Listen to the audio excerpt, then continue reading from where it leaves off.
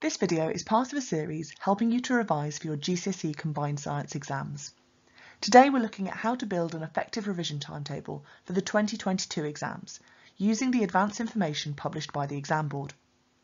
If you look in the description below, you'll find a link to the six timetables I'm using in this video. There's one each for the foundation and higher papers of biology, chemistry and physics. If you're preparing for the GCSE exams in 2022, then chances are this is your first time trying to craft a long-term revision timetable. Even if you had end of year 10 exams, and even if you've had mocks or pre-public examinations earlier this year, you probably haven't had any time off timetable to prepare for those, and you've probably had lots of other normal lessons and things going on around that. You also may not have taken those earlier exams quite as seriously as you're going to take these external exams because you knew that they weren't going to have such a big impact on your future. So you're now faced with trying to craft a revision timetable without really being sure what works for you. Now, when most people think of a timetable, they tend to think of something like this. It tends to have hour-long slots with a specific subject and you just sort of turn up and you try to do something vaguely useful that links to that topic until the allocated time is over. Now, this can be really effective, particularly if you end up with study leave after May half term, where you're allowed to stay home if you don't have an exam, and you have big chunks of time that you need to sort of pin down what you're going to be doing.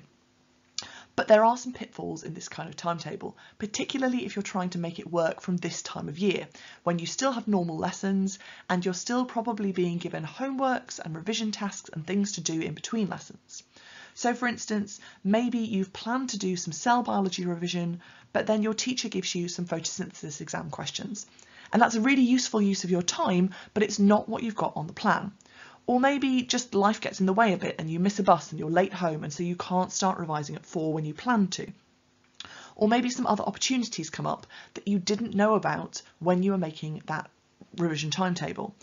Or it could also just be things like hobbies getting in the way. It's too early in the year for you to be giving up everything else, but if you've had a rehearsal or training, then that can just get in the way of you being able to stick to this plan. And the problem is that if you're like me, you might find that once you've missed out part of the plan a few times, you start thinking that the whole thing is ruined and there's no point in it at all, and I should just throw away the timetable. And even if you don't catastrophize like that, this can still leave you feeling quite overwhelmed and anxious, particularly because it's not very specific about what you need to do and it doesn't give you much of an indication of what you've done. So is there a better way? Well, yes, I think there is. For the last couple of years, I've recommended plans like this one, and you can download mine for Combined Science in the description below. There's one each for Foundation and Higher for the biology, chemistry and physics papers of Combined Science. The idea behind this plan is that there is no plan. You start with an idea of how much time you can commit, and then instead of saying I'm going to do this specific topic on this specific day, you keep a record of what you've revised. So this is about making sure that you're spreading your efforts out so that all of the different topics are being covered and that you're putting more effort into the ones that are going to give you more marks. But it's not about pinning down a specific topic to a specific day. Now, as an additional note, in 2022, we know which are the major topics, and particularly for biology, that some topics won't be assessed. So what I've done is I've added in an extra line if a topic definitely appears in a paper so that we can spend more time revising it. So for instance, cell division gets twice as much time as cell structure. I've also added in separate lines for the required practicals that we know will be in those papers. They only get one line because each practical is just a tiny part of a wider topic. Anything that's not mentioned, like cell structure, still gets a line because it can and will still be assessed in low tariff questions, those one and two mark questions. So you're not going to get six marks on it, but you don't want to neglect revising it completely. Particularly in biology, there are a few topics that are ruled out. For chemistry, there's literally only one line in paper two. Physics, it's kind of in between. But for those ones, I've greyed out the topics that we specifically know are not going to be assessed. Now, practically speaking, how is this actually going to work? What is it that you need to do? Well, the idea here is that each box of the grid represents 20 minutes of revision. If you're only just starting to use the system in February, then it's not realistic that you would expect to fill in the full grid. You just won't have time alongside your other subjects, but this should give you sufficient room to keep track of all the revision that you do. I've put some ideas along the top for different ways that you might want to try revising.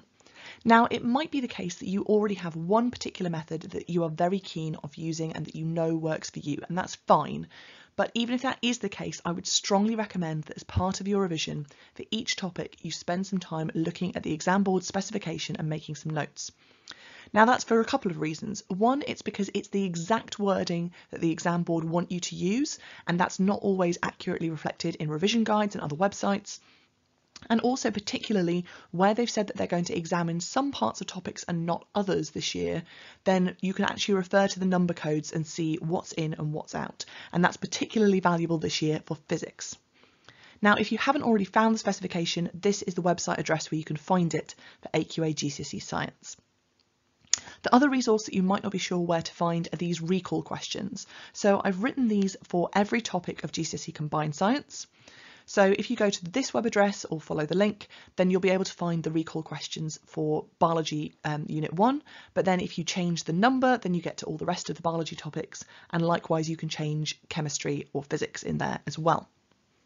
So each time that you do 20 minutes of revision, you're just going to note down the date so that you can keep track of how much you've done.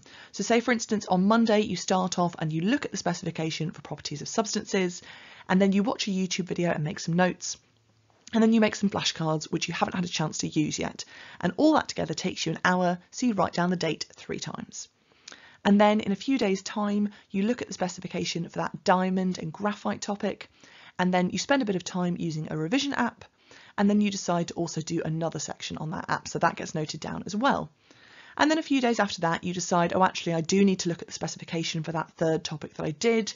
And then you watch a couple of YouTube videos and make some notes. So as you're going along, you're constantly writing down what it is that you've done. Having a system like this also allows you to really easily check in with yourself and make sure have you been spreading your efforts sensibly and are there some gaps that you need to go back into and refill.